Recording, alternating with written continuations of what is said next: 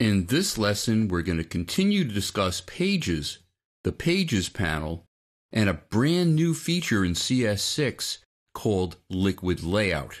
In order to follow along, I would suggest changing your workspace to digital publishing because the panels that we need are available in that workspace. If you'd like to follow along, go under the File menu to Open, and in the Sample Files folder, go down to 0310A Pages Liquid Layout, and then hold down your Shift key and just click on the layout that comes right after that. And just click Open. In order to use alternate layout to its fullest, you have to tell the feature how to resize the layout.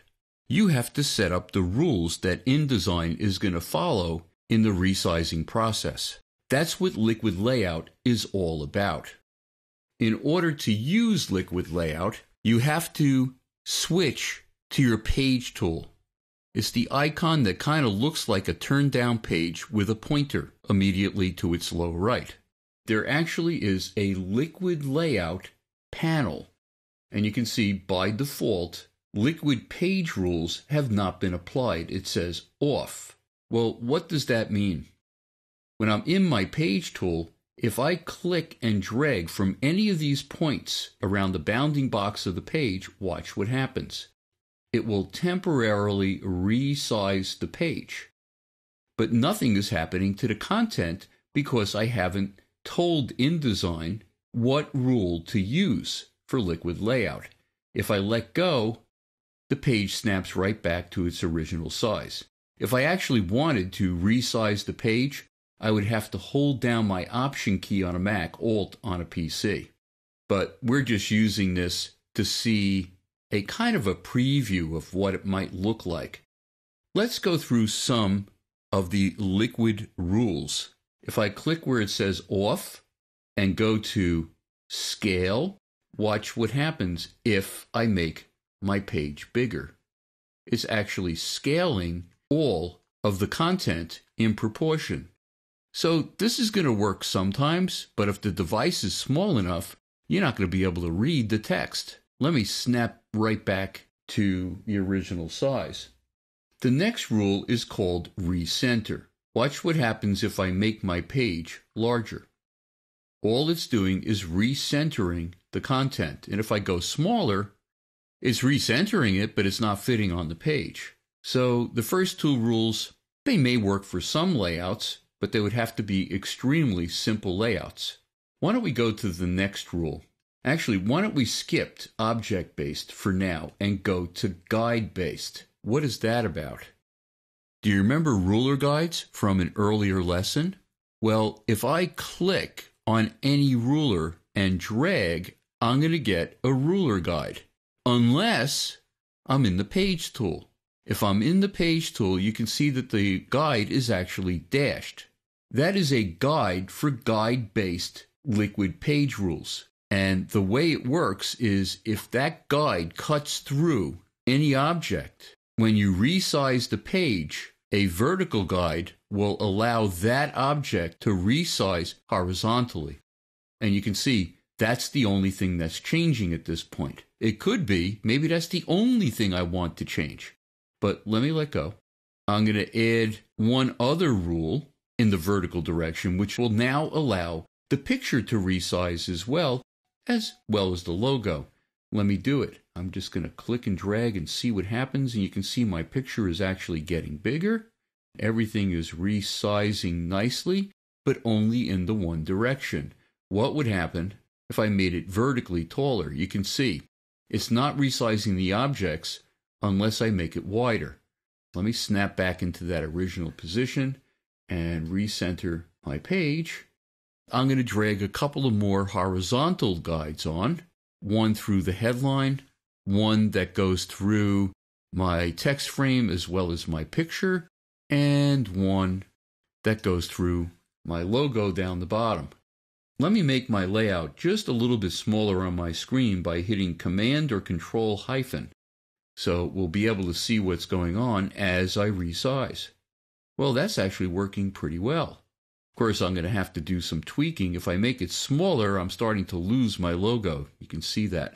It's only meant to give you a head start when using alternate layout. And you're probably going to use different rules for different kinds of layouts, depending on which one's going to work better. Let me go to my other layout, which is 0310-B. And this layout is a little bit different. To get started, I'm going to click with my page tool on my page. The liquid page rule that I want to use is object based. Why don't we just start clicking on each one of the objects in this layout individually to tell the rule how we want it to work. Like, for instance, if I click on my headline, you can see it gets highlighted in this bright red thick stroke. In my liquid layout panel, I have a bunch of choices to make. Do I want to resize this text frame with the page? Probably. Let me give it a shot. I'm going to change it in the height and the width. Now, the next section is called pin. I want you to pay attention to this little circle off to the left side. If I click pin left, what it's doing is it's maintaining this space to the left side of my headline. So when I resize the layout, the left side of that text frame is going to maintain that same distance to the edge of the page. I probably would also want to maintain the space above my headline. So let me click top as well. Now, let me continue by clicking on this text frame. And you can see before I start doing anything, all of these little circles all the way around the frame are not colored in. To the interior of the frame, where there are these dashed lines, you can see that the height and the width is actually locked. It will not resize right now. So, but as soon as I click on height and with, instead of locks, there's these little spring like objects that are part of the guide letting me know that it's going to be flexible in that direction. Now, because this object, the text frame, is to the left, I'm probably going to want to pin it to the left side. But what about my picture? Right now, the picture, if you look at the guides, is locked in both directions, and it's not pinned anywhere. So I want it to resize to the width and the height and I might possibly want to pin it to the top, left, right, and bottom. So it's going to resize perfectly with the page. And then there's my logo. Let me click on my logo. Obviously, it's towards the right side of the page. Maybe I should pin it that way. And I'm not going to resize my logo. I'm just going to pin it. Let's see what happens. Once again, I'm going to zoom out away from my layout by hitting Command or Control hyphen. So when I resize the page, you'll actually be able to see what's going on. And that is working kind of nicely. You can see I can go to a horizontal shape and I'm not losing anything.